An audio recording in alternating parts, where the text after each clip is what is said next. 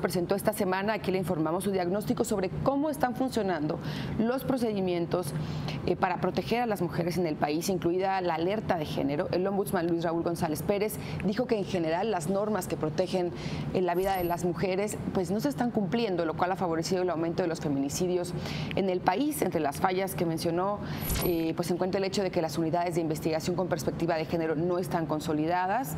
También dijo que el tipo penal de feminicidio difícilmente se acredita e investiga.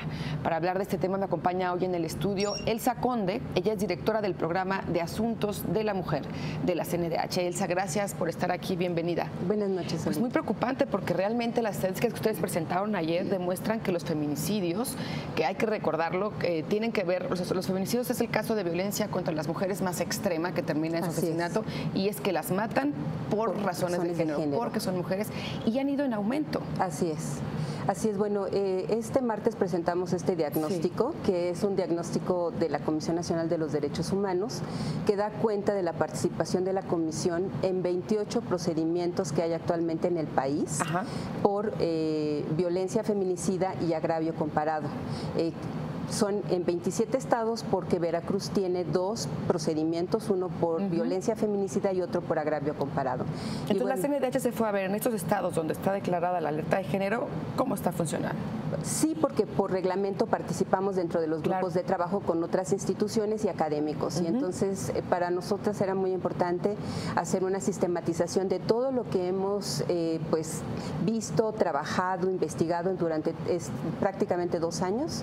Y lo que nos hemos encontrado, bueno, pues es que la alerta de género es un mecanismo que puede funcionar siempre y cuando, pues efectivamente, los gobiernos hagan eh, o realicen las recomendaciones que se generan a partir de los informes de trabajo. Y bueno, una de las cosas que evidentemente estamos viendo es que por un lado es muy difícil que las unidades de investigación acrediten, por ejemplo, el delito de feminicidio. Lo que veníamos, lo que mencionaba yo hace un momento en el caso, por ejemplo, de, esta joven Yasmín de 19 años en Tlaxcala. Así Están detenidos, qué bueno, ¿no? Sí.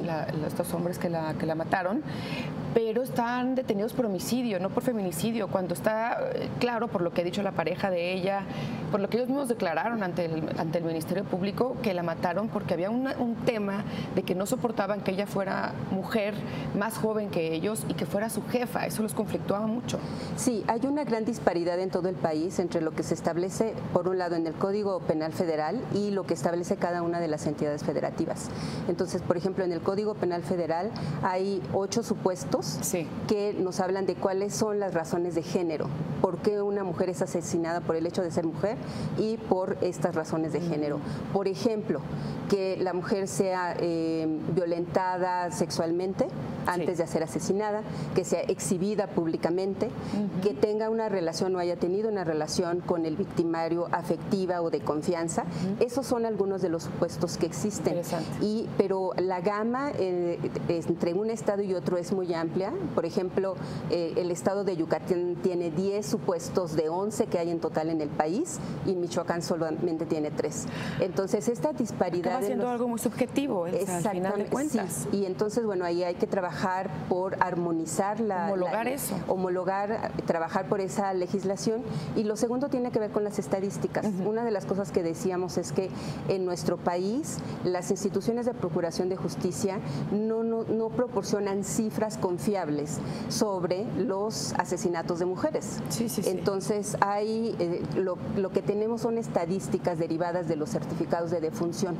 Entonces, tenemos, eh, nos dimos una cifra que eran 5.118 homicidios de mujeres que ocurrieron entre enero del 2015 y diciembre del 2016, y de esos solamente el 13.6 eh, fueron reportados por las procuradurías o fiscalías del país como feminicidios. Es decir, que hay un amplio margen de homicidios de mujeres que no se investigan como feminicidios. Entonces, bueno, eso por un lado por la tipificación, pero también porque hay un problema para el registro de estos, de estos asesinatos también. O sea, tampoco hay una metodología clara que permita ese registro o porque todavía están superpuestos lo que es el, antiguo sistema de justicia penal con el nuevo eh, sistema penal acusatorio. Ahora, Elsa, te lo pregunto. Yo no sé, eh, bueno, ustedes ayer claramente dieron una cifra, ahorita nos la compartes, de cómo ha aumentado el número de feminicidios. Sí. Eh, pero de pronto eh, parece que ya debería haber una sección especial en, en los medios de comunicación para hablar del tema. No sé si es porque estamos poniendo más atención a los casos de, violencia contra las mujeres, a los casos de feminicidios, o porque de verdad es, de ese tamaño el problema, porque simplemente en las últimas semanas hemos estado hablando del caso, de los casos en Puebla, ¿no? De Mara y de, otra chica que fueron asesinadas, eh, el caso que acabamos de, mencionar de Tlaxcala, otro caso más aquí en la Ciudad de México, de Pamela, aquí en la Ciudad de México también el caso de Lesbi, es decir, no paramos de dar información eh, de este tipo. Sí, y bueno, desafortunadamente el dato que dábamos es que sí se ha incrementado la violencia feminicida en, el país. Decíamos que en el 2014 el promedio era de 6.3 mujeres asesinadas cada día en este país. ¿Cuánto otra vez? 6.3 y actualmente son 7. Dios. Es decir, hay un aumento por lo menos de más de 300 mujeres entre el 2014 y en la actualidad que han sido asesinadas, bueno, que son asesinadas en un año en el país. Entonces, estas cifras nos hablan de que, de que las instituciones eh, les falta, que tienen insuficiencia, que tienen que tomar con mucha seriedad las recomendaciones que se hacen en estos grupos de trabajo y que se tomen con mucha seriedad las alertas de género, porque eh, pensamos que es un mecanismo que efectivamente es viable siempre y cuando se, fortalezcan y se aplique bien. El problema es que no se está haciendo, ya están los datos. Y un ejemplo que dábamos también es el tema de los recursos. O sea, los recursos han ido disminuyendo de, la federación hacia los estados, pero también los estados tampoco invierten. O sea, no invierten en la atención. Hay centros de justicia para las mujeres que operan medio año exclusivamente con el recurso federal y entonces el recurso les llega hasta mitad de año. Entonces se pasan seis meses sin recursos para la atención y bueno, hay mujeres que pueden llegar ahí, que pueden, que son atendidas, pero que no se les da un seguimiento ni una atención de calidad porque no hay recursos suficientes. Caray, bueno, pues Elsa, gracias por haber venido a Sin Línea. Muchísimas gracias. Ahí está el diagnóstico, ojalá que las autoridades